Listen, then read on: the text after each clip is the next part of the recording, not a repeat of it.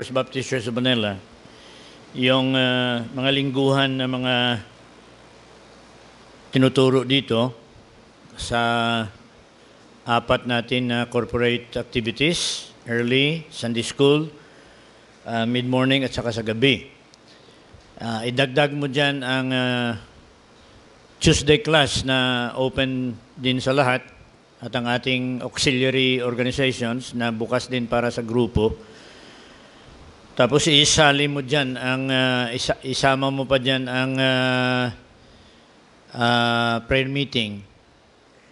Ah, halos, kinikwinta ko na sa loob ng anim na taon, kung kayo po ay tuloy-tuloy na mag-attend ng mga activities, yung mapag-aralan ninyo ay parehas na ng nakapasok kayo sa Bible School. So, hindi na kailangan nga kayo ay mag-enroll sa Bible School. Lahat na activities na lang ng simbahan ay atinan mo. Halos maubos mo yon ang lahat na yan in six years. Mhm. Sa 52 Sundays, at dagdagan din natin 52 Wednesdays. Mhm. So, ah, itong pag-aralan natin sa November at saka December, sa early worship, ay ang tawag nito is missiology. Doctrine of Missions or Christian Missions. New Testament Christian Missions.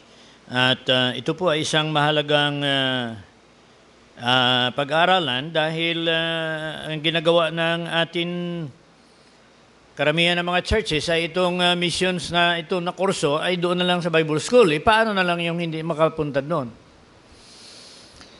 Para sa akin, mas mahalaga na i-educate natin ang ating local church kaysa sa yung kung sino lang papasok sa Bible School.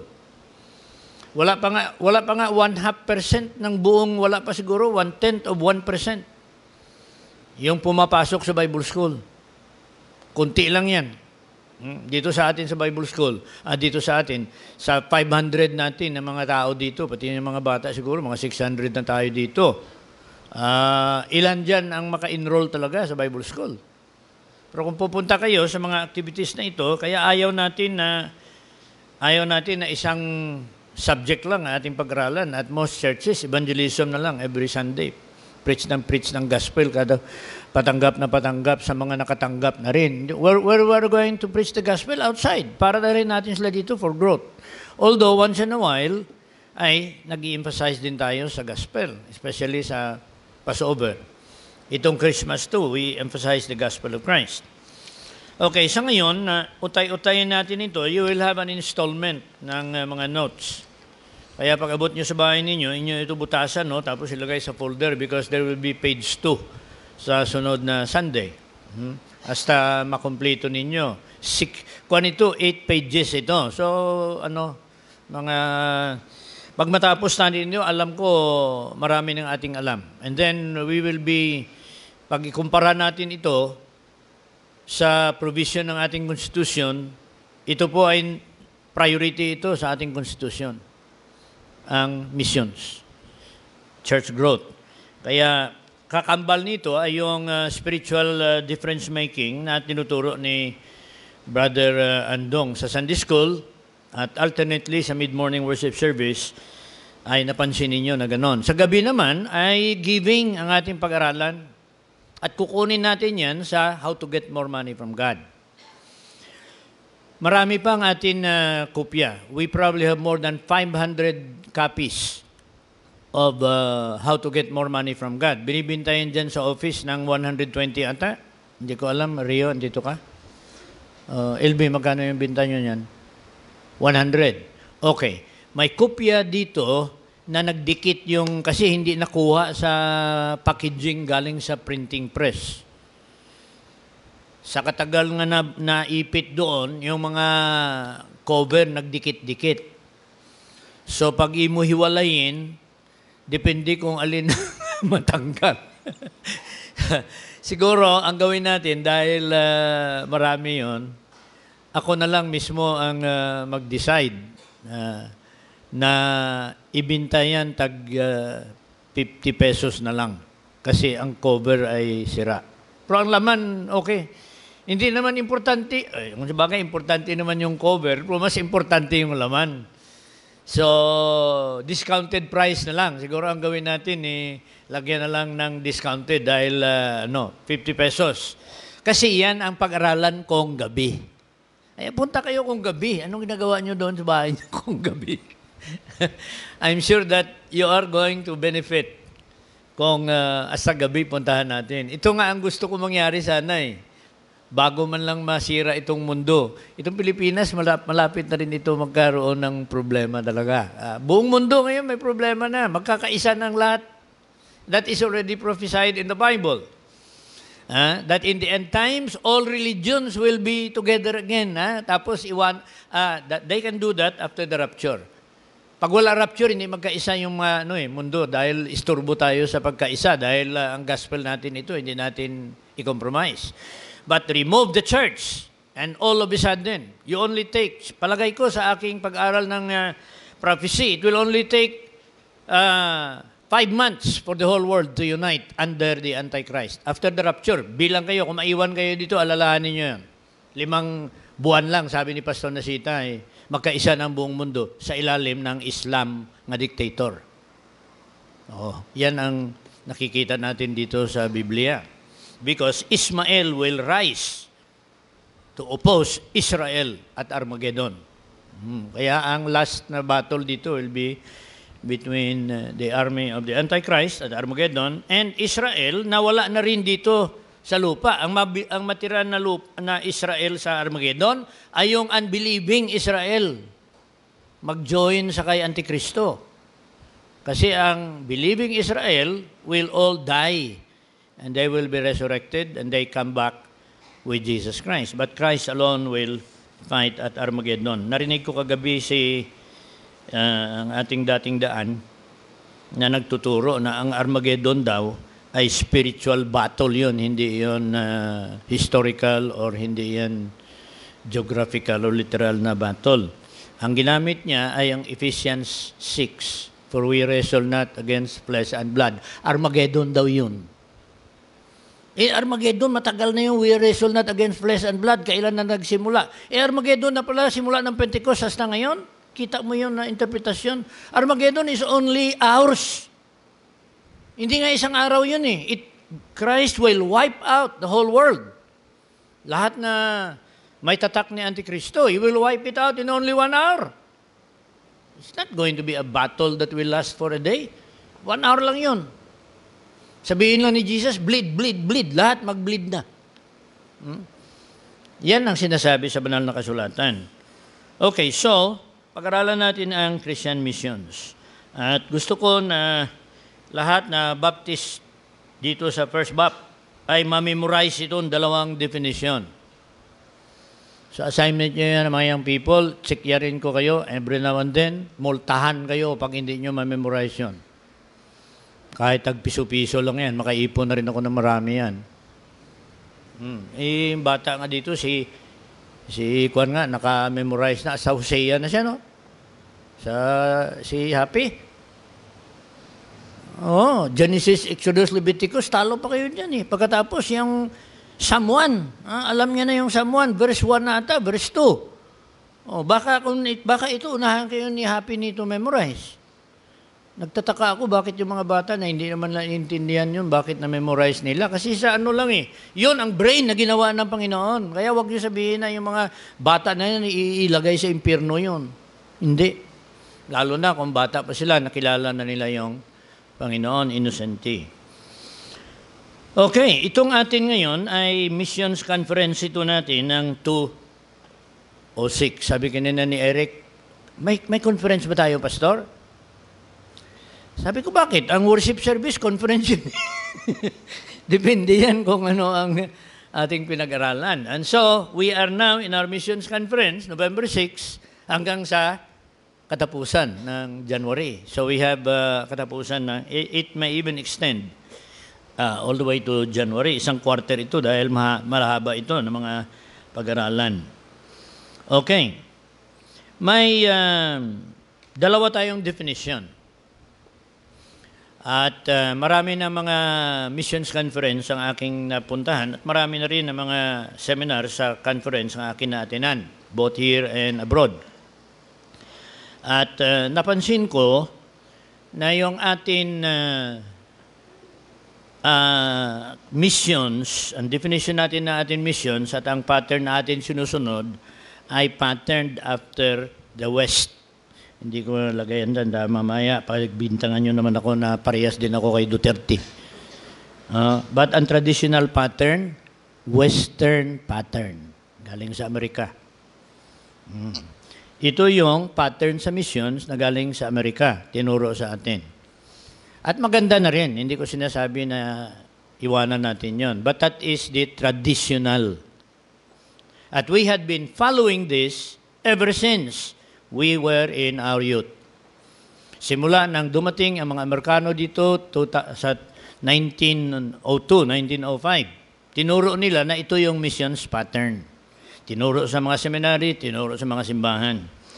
Tapos, itong definition number 2, ay na-emphasize ito mga 10 years ago ng mga kapatiran natin sa Singapore. At ang akin napansin dito ay si Paul Chu ang uh, uh, nagdala nito dito. So ito na ngayon, dalawang uh, tumatakbo na ngayon na missionary program. And we, thank God, we do not have to get rid of the Western pattern because it's also, it's one half of missions. But the other half is the biblical pattern. Ayaw ko lang lagay na biblical, but in my notes, nakalagay dyan, biblical pattern yon. Ang Western pattern ay yung professional missions. Ang gagawa ng missions ay yung nakaaral lang ng missions, na-approve ng mission board, tapos pinadala doon, may support, yon ang ating pattern. Hmm. Ang pattern na galing sa Singapore, kasi sabi ni Paul Cho, the best missionaries in the world are the Filipinos. Hmm. He talked about that for four days. Doon ako, naka-attend. Totoo, naniniwala ako sa kanya. The Filipinos can adapt any kind of culture. They will eat any kind of food. Hmm. Hasta nga ako nga, bili, binibili ko na ulo ng para sa aso, pag i-pressure cooker ko, ang bango mo ko, lagyan ko ng asin, ako mismo kumakain bago ibigay sa aso. Bakit ibigay ko lang sa aso, hindi ako kakain? Daw balot pala yan, parang balot pala yan, kumasawsaw mo sa ano, lang, sa ano, sa suka.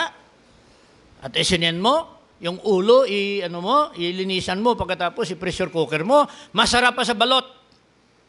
Oh, Pilipino. Hmm. Sa lagubang, ang sarap niya na i-adubuhin. Kaya sabi ni, ano, sabi ni Paul Cho, you send the Filipino anywhere in the world, he will adapt to the culture right away. Mabilis mag-aral ang lingwahe ng bago, bago ng lingwahe. Ang mga iba iyang mga nasyon, namatay na lang, hindi natuto magtagalog. Oh. Okay, so, sabi niya, every time we have conference in Singapore, And I call for commitment to go as missionaries whenever a Singaporean, ito taga Singapore ito si Paul Choi, sabi niya, whenever a Singaporean will raise his hand to go to missions, my heart right away, ang blood pressure ko tumataas. Bakit? He is very expensive. You send a Singaporean abroad, you will spend four times more than sending a Filipino. Mm. Oh, pabor yan sa atin ata. The foreign missionary, mga 50,000 abroad ang ang Pinoy. Pip, kwan yan ha, yung pamilya yon. Dollar, uh, ah, 50,000 pesos yon. Eh, that's only 1,000 dollars. But an American missionary or European missionary, 6,000 dollars a month. Ang ipadala mo. Kaya brown brother, mura tayo.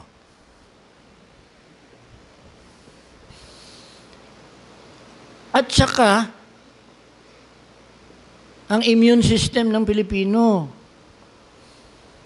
Kita mo yung taga tundo dyan ang nilalaruan, langaw. Galaro langaw. Ang padami-dami na ganun na ginatapon, ang, in, ang bilangin mo, ang nakuha mo, yung maiwan sa tubig. Ang makalipad, hindi yan count. They, the kids there do that for hours when they have nothing to do. Enjoy na enjoy sa laro ng langaw. Hindi man lang na malaria o kaya hindi man lang na dinggi. Alam mo nasaan ang dinidigi? Yung mga mayayaman at saka yung mga katulad natin na mayaman.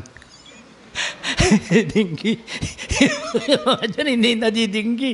Kasi ang, la, ang langa, ang uh, lamok, hindi na sila kinakagat eh. Kaibigan na. Mm, and that may be, siguro sobra naman yan. That, uh, uh, I'm, that's only a joke. Uh, pero totoo. Mm. At ang sabi niya, bakit pa kayo, bakit ito? In ano niya to eh, he demonstrated this. Pinada, pinapunta niya dito sa, uh, no, sa stage. Who are you all professional missionaries? Ang professional missionaries yung pinadala ng mission board. Dito nila nilalagay. Ah, dito. Okay. How many are how many of you are doing missions every day eh, by witnessing? sa workplace ninyo, uh, ikaw may business, ang lahat ng mga uh, ano, lahat ng mga empleyado nyo may Bible study on Friday, isang oras. Uh, the last hour is free na. Bayaran kayo for my Bible study. That's what ginawa dito kaya mara nang ginagawa ito marami dito naligtas hasta yung uh, ano hasta yung foreman at ang engineer dito dito naligtas nang ginagawa itong building at saka ito kasi sila man ni Pastor Sanglap, sila ni Pastor Ormeo. Kami rin dito ay we were doing uh, mission work. Hindi naman kami uh, paid for that ng mga missionaries. Hindi na kailangan kukuha ka ng professional missionary para ituro.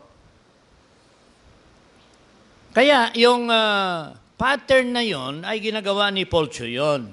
Ang ginagawa niya ngayon, mayroon silang uh, Gojucate doon sa Iloilo, nagbili sila siguro mga 50 hectares nga forest area.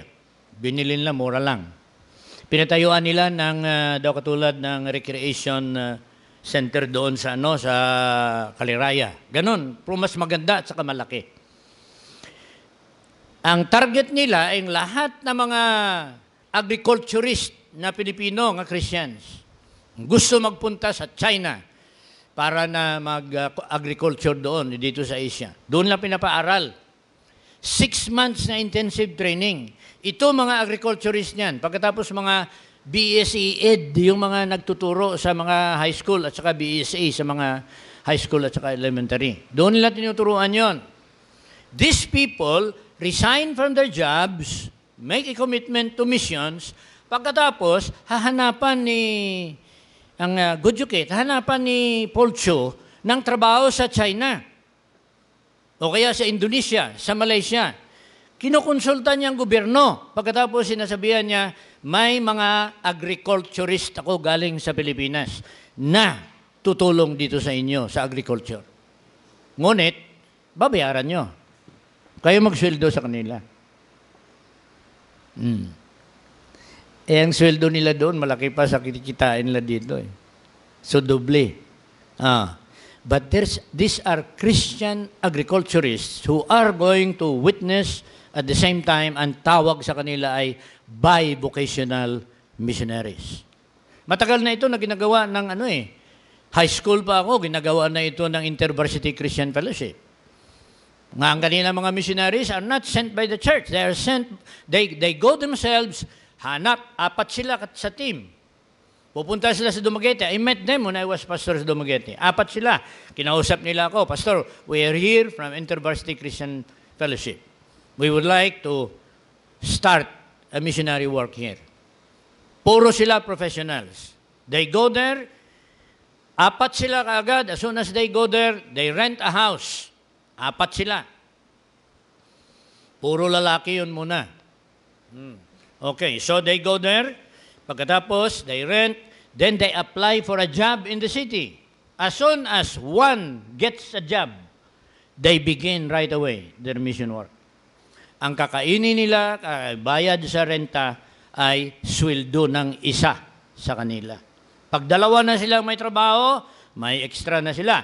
Pag lahat sila may trabaho, they can begin renting a student center without any help from the local church. Napahiya ako doon eh. because they were winning more souls than First Baptist Church of Dumaguete City. Lahat na eskwelahan, pasukan nila. And they are not being supported by a local church. Now, kung may mga church man nga mag-support sa kanila, ang katulad nito for a long time, ang may mga may mga kilala tayo dito na sa InterVarsity. And so, tinutulungan ng First Bap. But ang First Bap will send their support, alam yan ng kanilang organization. That will be only supplemental na kung tigilan ninyo dahil ayaw nyo na, then they are not going to suffer. They will thank you for the period of time that they had already supported you. Kaya lang, dahil sa ating uh, separation stand, pag may magsabi, ay ecumenical yon, putulin natin. Yon ang ginagawa natin eh. Pag ecumenical, kasi siyempre ang ila ecumenical ang style nila dahil they go they go sa lahat. But ano, ang kanilang grupo, they come from all. Iba Presbyterian, iba Baptist sa kanilang team. But that is by vocational missionary. Ang importante na ito tinuturo nila. Iskwilahan yun eh. Paano mo madala yung mga pulis at saka yung mga military kung hindi ka mag-ecumenical? Yan ang uh, ano. Kaya Budji now is working with the Philippine Military Academy. Pastor Budji. Hmm. He works there. Si uh, Si Chinky has already resigned from her work as a teacher. Ngayon, nagkuha siya ng training for bivocational missionary. Kung saan si Budji nagle-lecture for one week sa evangelism at church growth, si Chinky kasama niya. So I decided to support them again. They had a problem before sa ilang marriage. They had a problem with family. Hmm. But somebody helped them and they are now restored and rehabilitated. At makita niyo siya because I invited him to be the speaker sa kantata ng mga bata. Mga anak nila yan, lumaki yan dito. Hmm, yung kanilang uh, tatlong anak. Hmm. Okay. Yan ang bivocational missionary. All right. Number one, traditional pattern. Missions is the organized effort of a local church. Organized effort. Hindi yung alaswerte. Eh? May mission board yan, basta local church. And in our case here, our mission board is our administrative board, is also our mission board, and all the pastors that are with us. Yan ang ating mission board. Okay. Number one, to send biblically qualified missionaries. Sa pattern na ito, sinisikap natin na ang lahat na missionaries nating pinapadala o ating sinusuporta are biblically qualified. There is nobody there in the lineup that is uh, guilty of immorality or dishonesty or uh, unruliness or false doctrine. Hmm. They either have to be restored already if they fell into sin or they have not yet committed any of those. May mga tao naman talaga na nagiging maingat. Simula nang sila pinanganak at nagiging kristyano. They were not involved in foolishness in the world because they grow up under strict Christian discipline from their parents. Kami nasama, nasama dyan. Kaya hindi kami nasali sa worldliness dahil nabantayan kami ng aming simbahan at nabantayan kami ng aming mga magulang. Kaya kahit na andoon ako sa Amerika, alone without any police watching me, naging maingat ako dahil ayaw ko na ma-disqualify sa pagkapastor because I know what disqualification means. Kaya ako nagpapasalamat na marami tayong mga kasamahan sa gawain ng Panginoon na dati sa mundo, lahat na kasalanan nagawa. But naligtas, binago ng Panginoon at ngayon ay naglilingkod kasama natin. Nothing wrong with that. Sa ating membership, ganun din. We have members here who came from all kinds of worldly background. Naligtas sila, binago ng Panginoon, kasama natin ngayon. And they are as much as qualified as those who have not gotten involved because of what Christ has done for them. Now ngayon, kung mahulog sila ulit sa kasalanan, discipline, rehab, restore. Kasama yan sa ating programa. Okay, number two. Papadala sila sa fields providentially prepared by God. Inahanda. Diyos ang nagbubukas, tapos ipadala natin sila sa nabuksan ng Diyos. Mahirap ata padala sa sirado. Hmm? Kung minsan ang iniakala natin na sirado, ay bukas pala utak lang natin na nagsasabi sa atin na sarado. South, North Cotabato, sarado dahil Muslim daw. Eh ngayon, mayroon Bible school doon. Marami pang estudyante nila sa estudyante natin dito. Sa North Cotabato. Partner natin yung Valencia Fundamental Baptist Church. Si Pastor Magdali. Doon siya. Every month pumupunta sa doon. Chinecheck nila. We help them purchase their 400,000 peso lot. Panayos lang ng building. Okay. Sa 400,000, we invested 150,000 para na at least one, one-third of that is atin. Ngayon, Muslim ang nagasimba doon, ama nang nag-aaral doon. Hmm. How many years have we been told that Mindanao is close to foreign mis- uh, to missions? Alam niyo ba na ang Bukidnon is the most saturated Baptist area community in Mindanao? There, there, there are uh, churches, Baptist churches, almost in every barangay in Bukidnon. Kaya walang ano doon, walang gulo. Kasi kuminsan ang pastor siya rin ang barangay captain. Hmm, kasi gina-criticize ng iba, mag-barangay captain ka, mamaya diyan doon ka na sa ano, sa ano sa sayawan dyan. Ikaw na mag-pray doon bago magsayaw mga tao. Ikaw mag-pray sa pistahan. Hindi naman ganon. Dahil nire-respeto siya eh. Karamihan ng mga membro sa barangay, andyan sa simbahan nila. Do you know that some of our churches are the most influential church in the barangays? In, ano, in, isang uh, membro natin doon, nag-produce ng uh, carrots, mga high, high yield high yielding na mga crops. Isang crop lang nila ng patatas, isang crop lang nila makabili sila ng uh, van. Kaya ngayon hindi na tayo na nakakarinig sa Mindanao na humihingi dito ng tulong sa atin. Tulungan natin yung mga institutions, but not anymore the individual pastors.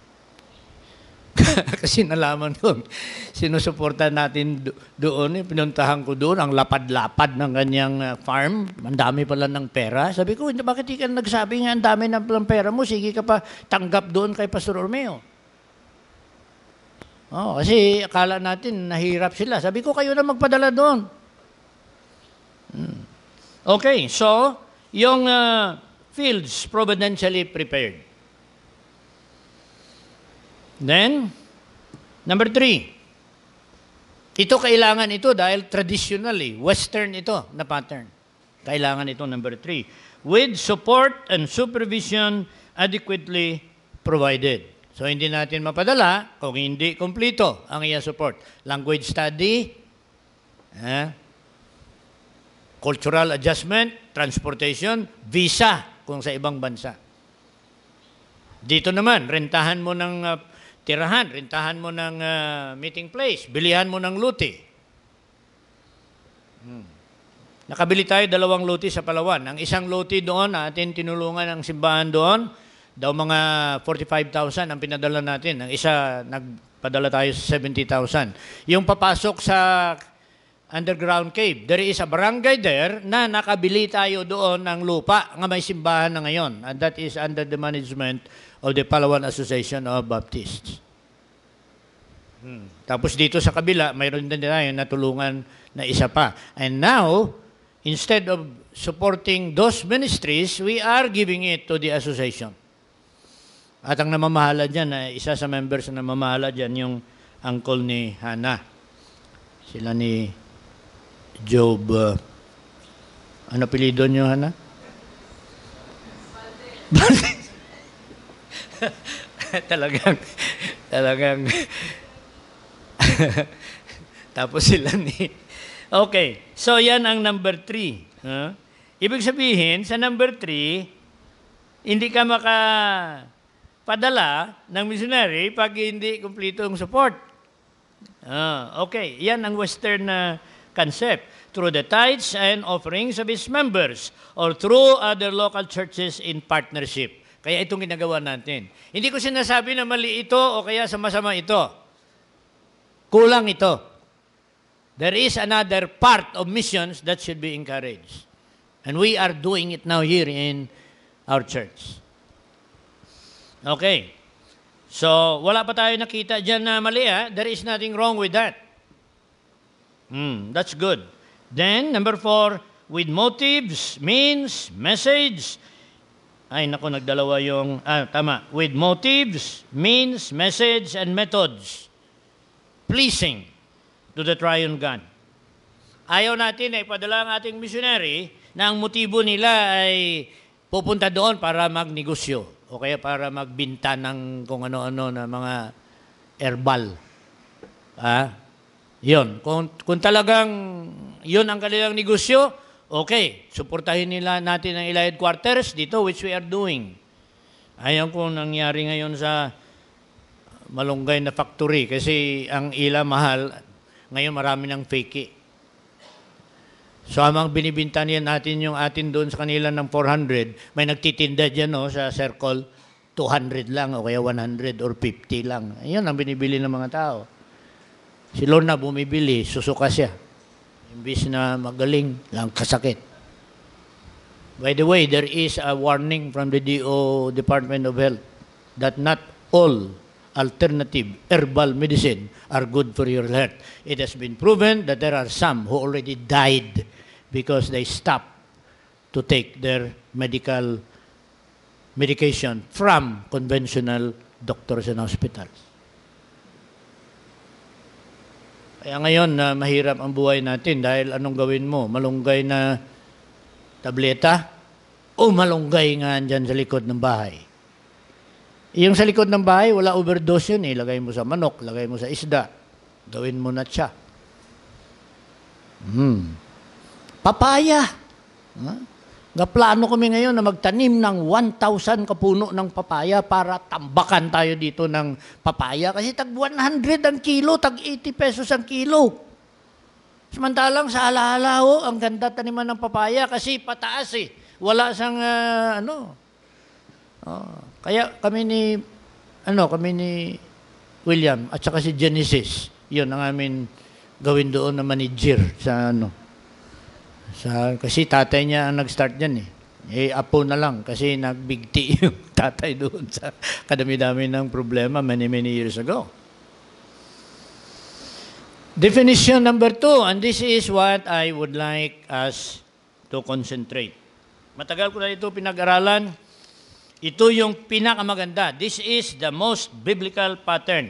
Bivocational pattern. May, may trabaho ikaw, idikit mo yung missionary program mo sa trabaho mo at suportahin mong sarili mo. Hindi ka na mag-ikot-ikot sa simbahan para ano. Biro mo, engineer ka, pupunta ka sa Indonesia. Magkano sweldo mo doon? Ah. If you are trained to be a bivocational missionary, you can plant churches there. Ikaw lang kasi you had been trained to do evangelism and even trained to pastorate if God will allow you to do it. Sweldo mo ang iyong gamitin. Hindi ka na mag-ikot-ikot. Ang iba naka, ang iba namatay lang sa, sa ikot, hindi hindi nakapunta. I know I, I know many people. They went around the Philippines to raise money to go to Thailand. Tatlong taon na, wala pa naka-raise ng pera. Decided to go to America. Now, gapastor siya sa Amerika. Eh, missionary rin. Uh, okay. Missions is the local church reaching the lost with the pure message of the gospel of Christ in the power of the Holy Spirit through, number one, the consistent Christian life, behavior and lifestyle, and verbal witness uh, personal sharing of the gospel by leaders and members of the church in their immediate family, relatives, and friends, yung kanilang Jerusalem. Membro natin, ah, inayos ang buhay, na, na, nag, nag, namumuhay na mabuti, nakikita ang kanilang testimony ng kanilang pamilya. Buong pamilya niligtas, binago ng Panginoon, nakikita ng mga pinsan, nakikita ng mga tiyo, nakikita ng mga kamag-anak. Bible study. Later on, half of the whole clan in the Philippines are all saved. Sino nag-abot? Simbahan? Hindi. Yung kamag-anak. Ito yung emphasis na hindi masyadong napag-aralan sa Bible School.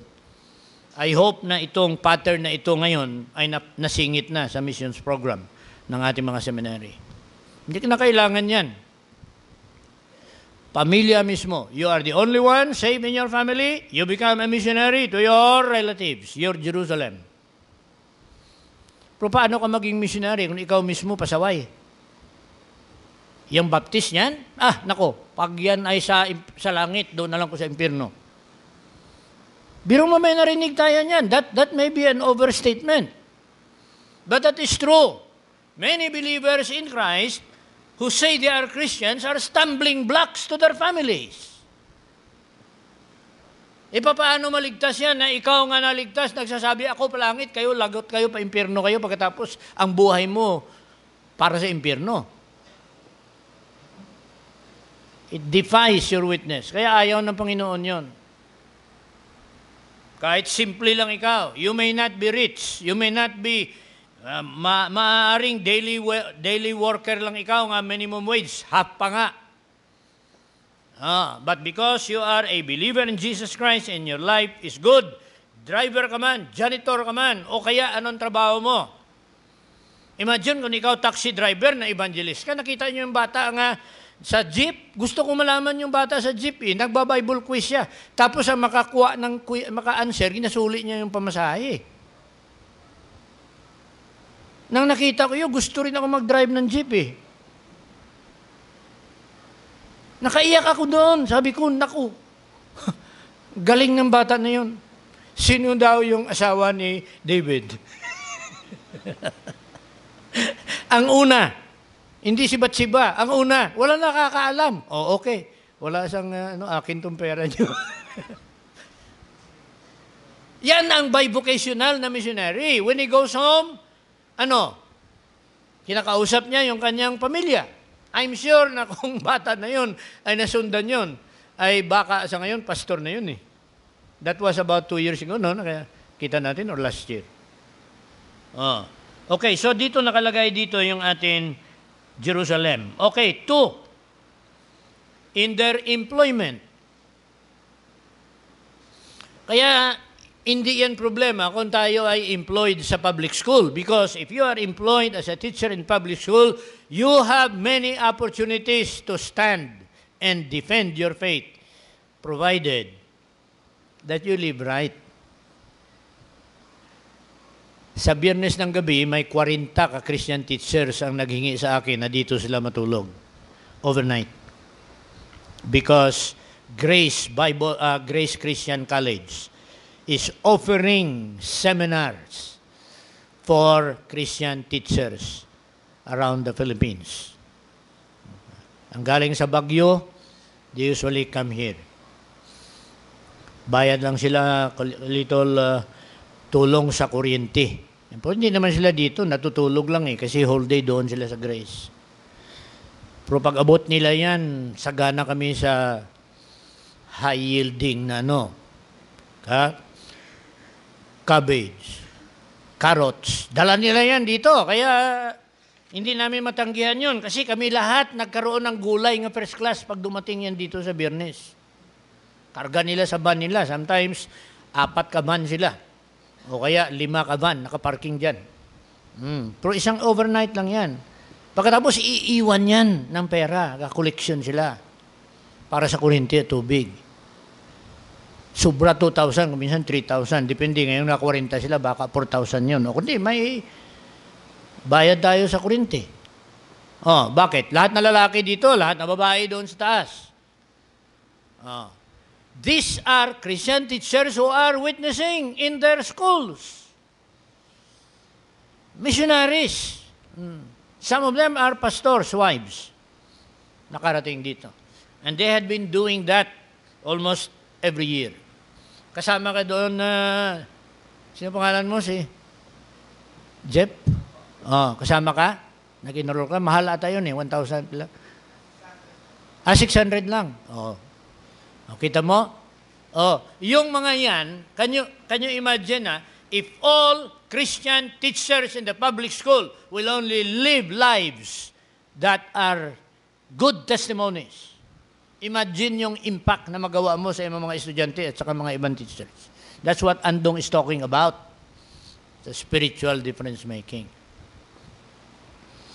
Okay. Ilan yung maabot na mga yan kumpara sa isa ka missionary nga atin ipadala?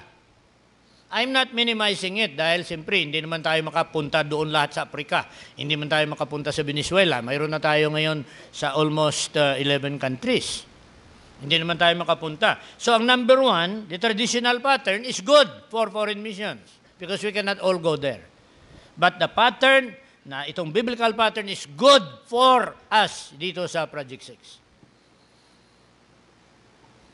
Eh dito, dumadami yung ating single sa young professionals dito, dumadami. Bakit? Dumadami yung nagagraduate sa professionals na. Uh, marami na tayong young people dito na mga professionals na. They grow up here, mga bata pa, kaya natututo na sila magbigay. Kaya ngayon, medyo lumalaki ng ating giving because ang ating mga bata noon na dito lumaki, sila ngayon ang nagbibigay ng kanilang tulong sa ating programa. At ang ating mga retired naman ay may mga pension pa rin yun. Pero ano, bigay pa rin sa Panginoon. So mula sa bata hasta sa mga matatanda. Hmm. Okay, employment, workplace, or business close to where they reside. Kung ikaw may trabaho dito sa Metro Manila o kahit hanggang Makati pa o kaya within one, the radius of 100, that will still be your Judea and Samaria. Okay, so their employment, work. Then, number three, personal and family involvement with the evangelistic outreach of the church in the surrounding barangays and neighboring towns, that is our Judea and Samaria, uh, yon ang uh, involvement natin. Pag may Bible study, tayo sa mga barangay, kung ikaw kasama doon, then you are part of the team. Hmm. Yung mga yan ay hindi na yan pinap, ano, hindi na pinapamasaya niya ng simbahan. Sometimes, there are churches, nga yung mga pumupunta doon, may mga sasakyan na sarili. Dala na lang sila ng uh, kanilang team para na magturo doon.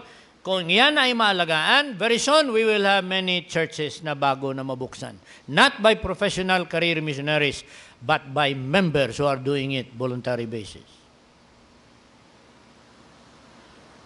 Then in foreign countries as OFWs and OCWs. Anong diferensya nitong overseas foreign workers at overseas contract workers? Parehas lang yan, no? di ba? Uh, hindi ko nagtanong. Ano ba, Mr. Sanglap, ano ba yung overseas foreign at saka overseas contract? May diferensya ba yun? O parehas lang yan sila? Overseas foreign workers,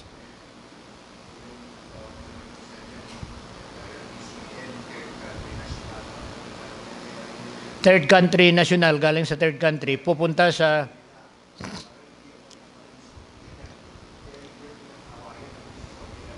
ah, expatriate. Okay.